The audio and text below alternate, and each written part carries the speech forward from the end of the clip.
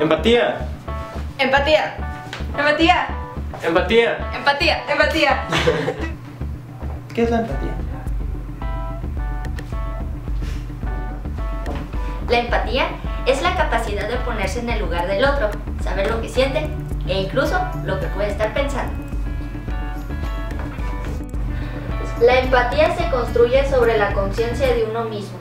Cuanto más abiertos estamos a nuestras propias emociones, más hábiles seremos para interpretar los sentimientos. más. Los pequeños y medianos negocios que se han visto afectados por las lluvias en ese estado, allá en Guerrero, van a recibir apoyo. El secretario de Economía anunció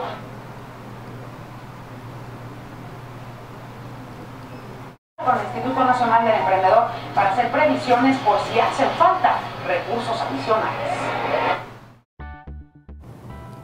Las regiones mismas de la corteza donde se concentran las neuronas específicas de las emociones también son, según señala Brothers, las que contienen conexión más directa con la amígdala. La interpretación de las emociones incluye el circuito amígdalo-cortical que juegan un papel clave en la orquestación de las respuestas adecuadas. Los pacientes con determinadas lesiones en la zona derecha de los lóbulos frontales presentaban un curioso déficit. Eran incapaces de comprender el mensaje emocional en el tono de voz de la persona, aunque eran perfectamente capaces de comprender sus palabras. La empatía comienza desde la temprana infancia. Durante el primer año los niños comienzan a tomar conciencia de que son una entidad separada de los demás, así que tratan de calmar de un modo más activo el desconsuelo de otro niño. A los dos años los niños comienzan a aprender que los sentimientos ajenos son diferentes a los suyos y así se vuelven más sensibles. En la última etapa de la infancia aparece un nivel más avanzado de la empatía, ya que los niños pueden percibir el malestar más allá de una situación inmediata y comprender que determinadas situaciones son personales o vitales y que éstas pueden llegar a constituir una fuente de sufrimiento crónico. Es por ello que empiezan a preocuparse por los pobres, los oprimidos o los marginados. Algunos estudios demuestran que el grado de empatía sea directamente relacionado con la educación que los padres proporcionan a sus hijos, ya que pueden llegar a ser más empáticos cuando su educación incluye la toma de conciencia del daño que su conducta puede causar a otras personas. La imitación permite que los niños desarrollen un amplio repertorio de respuestas empáticas, Martin Hoffman, un investigador de la empatía, señala que es la empatía hacia las posibles víctimas el hecho de compartir la angustia de quienes sufren, de quienes están en peligro o de quienes se hallan desvalidos, lo que nos impulsa a ayudarlas.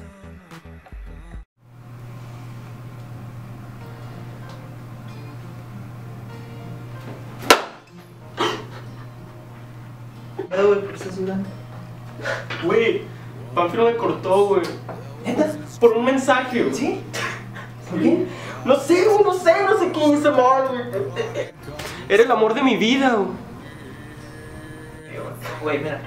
Güey, no, no, no. Escúchame. Yo te entiendo, yo pasé por esta. Güey, no te preocupes. güey, era el amor de mi vida. Güey, No te mi- preocupes. nos íbamos a mudar a la... Eh, muchos pesan, man. En Alaska, entonces. Ya, ¿qué traes, güey? Ya, cálmate. Ya, güey. Te invito a unos tacos, ¿eh? Ok, thanks.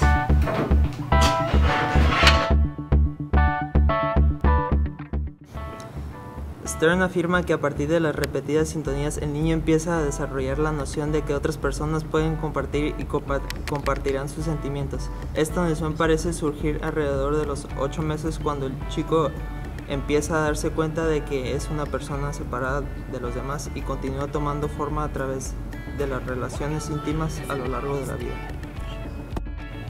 Considera que mediante la sintonía las madres hacen saber a sus hijos que tienen idea de lo que ellos sienten.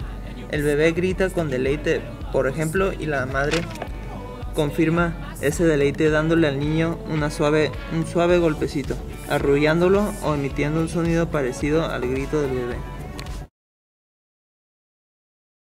Tenemos que ir a jugar bingo. Sí, Tenemos que ir a jugar bingo. ¿A dónde? Al casino. Ahí van todas. Todas, todas. Y hay hombres. Sí, Tengo también. sed. Ay, qué bueno. ¿Y Y tú? ¿Y tu marido? Ah, está bien, nada más que. Mamá, Sí, no, no sé, mamá, no, no, queremos tiene agua, tengo sed. ¿Por qué no? Me voy No a sé, no nos gusta que- Los hijos son lo mejor Me del a mundo, en serio. calor, mamá. Nosotros pensamos que nos Mamá. tiempo para viajar. Mamá, Sí, tengo para- sed. de hecho, y espacio Mamá. en el carro, ¿qué tal? Mamá, ¿me Pues, ¿puedes servir? Queríamos ir a? Hawái el fin de semana. Mamá. A Hawái. Sí, es ¿Tienes dinero? Tiene vacaciones, Mamá. tú también, pero. Pues. Ah, pues ocupada. vamos, sería súper bien llevar a los niños. Son un regalo de, de Dios. Pero casi no. La ausencia de empatía está presente en aquellos que cometen los crímenes más viles. La actitud psicológicamente errónea es común a violadores, abusadores de niños y diversos autores de violencia familiar. Son incapaces de experimentar empatía. Esta incapacidad para sentir el dolor de sus víctimas les permite decir mentiras que estimularán su crimen. La supresión de la empatía mientras estas personas infligen daño a sus víctimas es casi siempre parte de un ciclo emocional que precipita sus crueles actos, lo que da prueba de la secuencia emocional que conduce típicamente a un crimen sexual como el abuso de niños.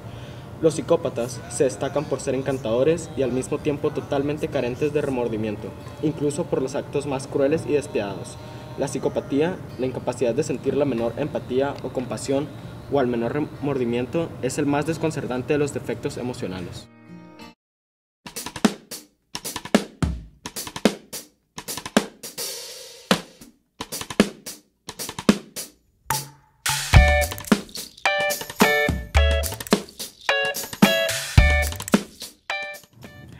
Andrea Ordóñez. Samantha Pantoja. Alexa Ibarra. Adrián Mierda. André Parra.